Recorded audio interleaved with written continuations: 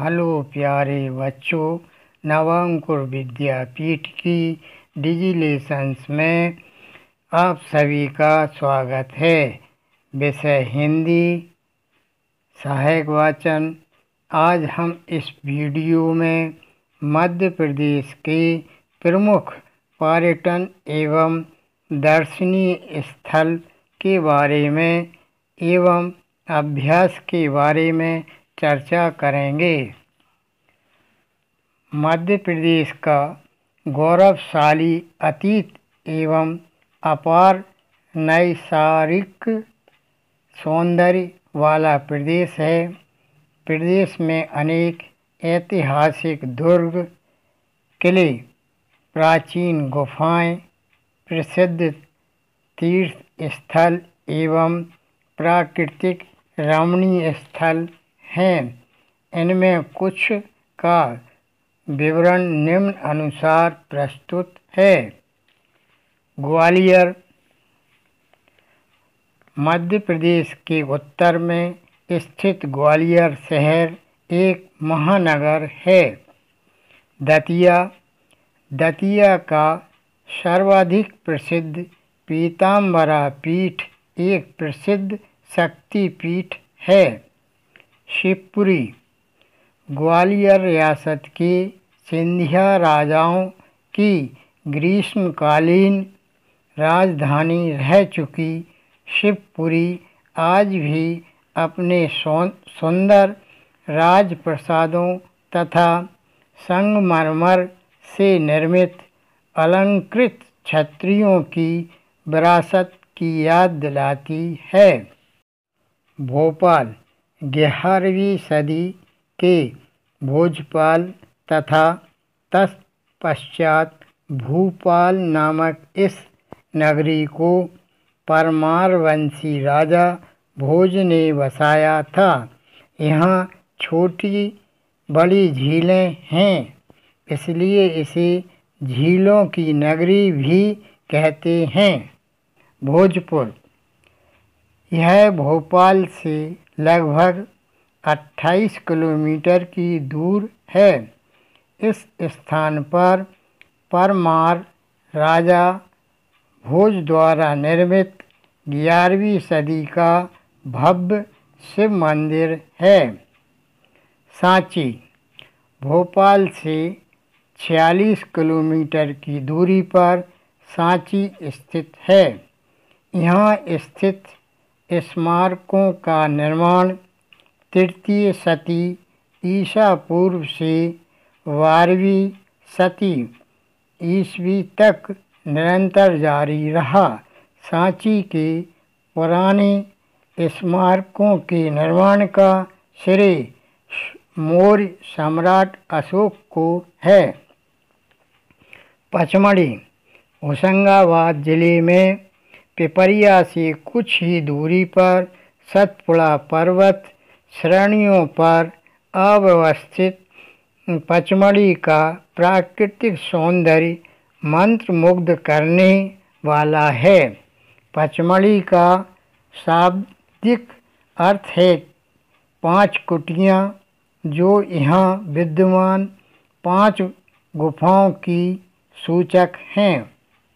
उज्जैन उज्जैन क्षिप्रा नदी के तट पर कुंभ मेले एवं महाकालेश्वर ज्योतिर्लिंग के लिए प्रसिद्ध है।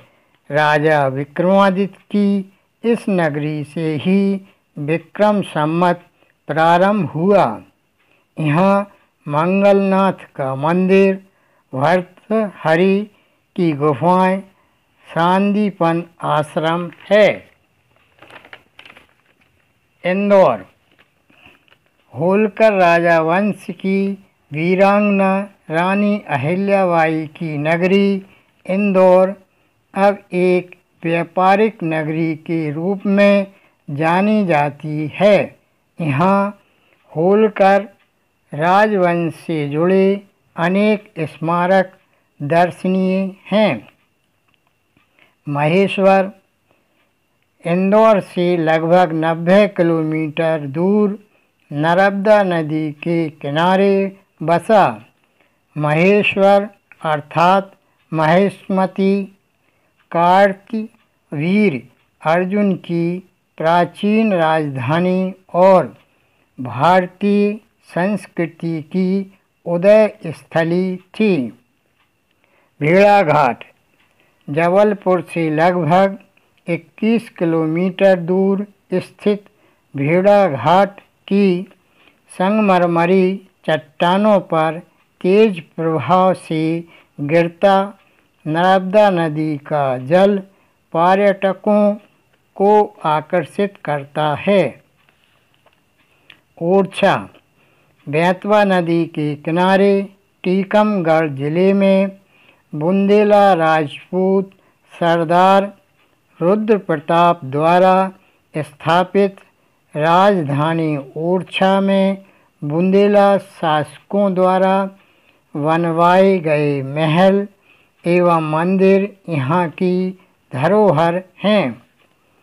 मैहर, सतना ज़िले की मैहर तहसील में स्थित परमाल रासो के आल्हा की आराध्य देवी शारदा देवी का मंदिर आराधकों को सहज ही आकर्षित करता है। चित्रकूट, सतना ज़िले में स्थित चित्रकूट प्राचीन काल से तपस्या और शांति का स्थल रहा है। भक्त शिरोमणि तुलसीदास आत्मिक शांति की खोज में यहाँ आए थे। अगला प्रश्न है, रिक्त स्थानों की पूर्ति कीजिए। पहला है, दतिया में खाली स्थान शक्ति पीठ प्रसिद्ध हैं। इस खाली स्थान में शब्द आएगा पीताम्बर दूसरा है, वांधवगढ़ खाली स्थान के लिए प्रसिद्ध हैं। इस खाली स्थान में शब्द आएगा सफ़ेद बाघ। तीसरा है, राजा विक्रमादित्य की नगरी से ही खाली स्थान संवत प्रारंभ हुआ। इस खाली स्थान में शब्द आएगा विक्रम। चौथा है रायसेन का दुर्ग सोलहवीं शताब्दी में खाली स्थान ने बनवाया था। इस खाली स्थान में शब्द आएगा राजवसंती। अब अभ्यास के बारे में चर्चा करेंगे। प्रश्न क्रमांक एक, भीम बेटिका किस लिए प्रसिद्ध है? उत्तर है, भीम बेटिका शैल चित्रों के लिए प्रसिद्ध है। दूसरा, नर्मदा नदी का उद्गम स्थल कहाँ है? नर्मदा नदी का उद्गम स्थल अमरकंटक है। तीसरा, कान्हा किसली किस ज़िले में स्थित है? मंडला ज़िले में। चौथा है भीड़ा घाट क्या है व क्यों प्रसिद्ध है? उत्तर है, यह जबलपुर से 21 किलोमीटर दूर स्थित संगमरमर की चट्टानों वाला स्थान है। यह नर्मदा के सुंदर प्रभाव एवं संगमरमर के लिए प्रसिद्ध है। अगला प्रश्न है, महेश्वरी साड़ियाँ कहाँ बनाई जाती हैं? उत्तर है, महेश्वरी साड़ियाँ महेश्वर में बनाई जाती हैं। अगला प्रश्न, भारत की सबसे बड़ी मस्जिद कौन सी है वह कहाँ स्थित है? उत्तर है, ताज उल मस्जिद देश की सबसे बड़ी मस्जिद है, वह वह यह भोपाल में स्थित है। अगला प्रश्न सातवा। मध्य प्रदेश के कौन कौन से स्थल विश्व धरोहर की सूची में सम्मिलित हैं? उत्तर है, मध्य प्रदेश के निम्नलिखित स्थान विश्व धरोहर की सूची में सम्मिलित हैं। नंबर एक, भीम बैठिका की गुफाएँ। दूसरा सांची का स्तूप तीसरा खजुराहो के मंदिर। धन्यवाद।